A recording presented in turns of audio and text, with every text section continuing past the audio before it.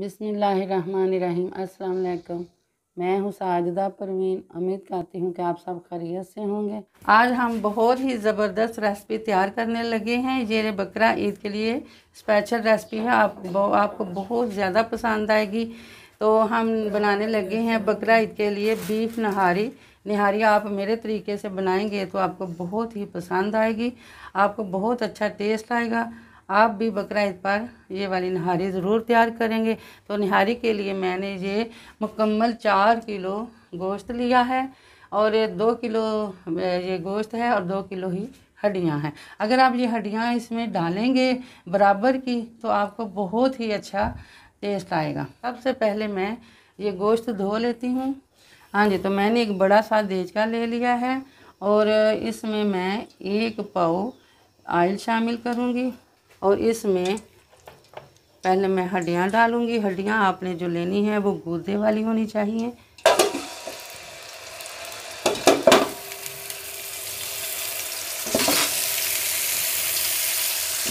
साथ साथ मैं गोश्त भी डालने लगी हूँ।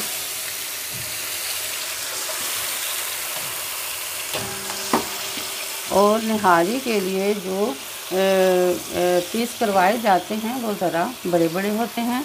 आपने भी निहारी के लिए ये पीस जो हैं बड़े बड़े करवा लेने हैं। और इसको अब हम मिक्स कर लेते हैं। फ्लेम को हम तेज़ कर लेंगे।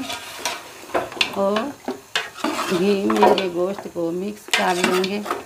और दो किलो गोश्त के लिए ये दो निहारी के डिब्बे हैं। और ये चार किलो है तो आपने सिर्फ़ गोश्त के हिसाब से ही निहारी में डिब्बे डालने हैं। हाँ जी तो इसमें मैं अब ये दोनों डिब्बे इसमें निहारी मसाले के शामिल कर दूँगी। और इनको मैं दोबारा से मिक्स कर लेती हूँ। मिक्स करने के साथ साथ ही मैं अब इनको भूनती जाऊँगी। आप पाँच मिनट के लिए इसको भून सकते हैं, दस मिनट के लिए भी आप तो भून सकते हैं इसको। हाँ जी तो जब ये भूनी जाएगी तो फिर मैं आपको बताती हूँ। माशाल्लाह से ये गोश्त और हड्डियाँ भी हमारी भूनी जा चुकी हैं। ये मैंने पूरे दस बारह मिनट इनको भून लिया है। अब इसमें पानी शामिल कर देते हैं। बिसमीम ये चौदह, पंद्रह गिलास मैंने इसमें पानी के शामिल कर दिए हैं। आप चाहें तो इससे ज़्यादा भी पानी इसमें शामिल कर सकते हैं, क्योंकि ये जो गोश्त है हमारा, अभी चार घंटे के लिए ये पक जाएगा। जब इसको उबाल आएँगे तो फिर ये आपने चूल्हा आस्ता कर देना। इतना करना है कि इसको हल्के हल्के उबाल आते रहें। माशाल्लाह से निहारी हमारी तैयार हो रही है। अगर अगर अभी तक ये मुकम्मल तैयार नहीं हुई, दूसरा स्टेप अभी रहता है, वो मैं आपको बताती हूँ। गोश्त गल गया है, हड्डियाँ हड्डियाँ जो हैं वो मैंने निकाल ली हैं। ये हड्डियाँ मैंने निकाल ली हुई हैं और ये गोश्त भी जो है माशाल्लाह से देखिए गल गया है। अब ये हड्डियाँ जो हैं ठंडी हो गई हैं। इसके साथ वाली जो ये गोश्त लगा हुआ है, वो वाला भी मैं इससे अलहदा कर लूँगी हड्डी से और ये भी मैं इसी के अंदर डाल लूँगी। हाँ जी तो ये दूसरा स्टेप है कि मैंने एक प्याली आटा लिया है और इसको एक बड़े बोल में डाल देती हूँ और साथ ही मैं इसमें पानी शामिल कर देती हूँ। एक कप आपने पानी डाल देना है इसमें। ज़रूरत पड़ी तो बाद में भी हम इसमें और पानी शामिल करेंगे। हाँ जी तो ये एक पूरा गिलास मैंने ये डाल दिया है पानी का। हाँ जी तो मैंने ये अच्छे तरीके से इसको फेंट लिया है ताकि इसकी जो गुठलियाँ हैं अच्छी तरह क्लियर हो जाएँ और अब मैं इसको निहारी में शामिल करूँगी।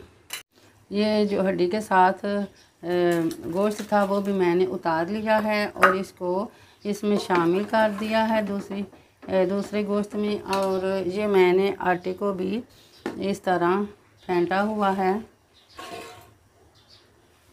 इसको भी मैं थोड़ा थोड़ा इसमें डालती जाऊँगी और इसको मिक्स करती जाऊँगी।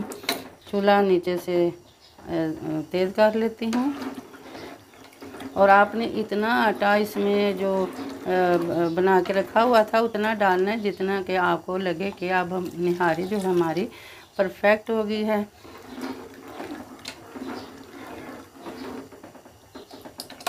थोड़ा थोड़ा करके शामिल करते जाएँ। लो सारा आटा जो हमारा था, पूरा एक प्याली जो थी, वो सारी इसी में मैंने डाल दी है। आटा डालने के पाँच मिनट बाद मैंने इस नहारी को मुकम्मल तौर पर तैयार कर लिया है। ये पहला स्टेप जो है हमारा मुकम्मल हो गया, चूल्हा बंद कर देते हैं और इसको अब हम तीसरा स्टेप जो है वो शुरू करते हैं। हाँ जी, ये तीसरा स्टेप जो है निहारी का वो शुरू होने वाला है और ये मैंने दो बड़े साइज़ के प्याज लेकर बारीक बारीक आपने इसको काट लेना है और इसके अंदर एक पाव आयल डालूँगी। आप इसमें ज़्यादा ही आयल डालिएगा क्योंकि ये जो निहारी है, इसमें आयल का ज़्यादा ही इस्तेमाल होता है। मगर आप अगर घी डालना चाहते हैं तो घी डाल सकते हैं।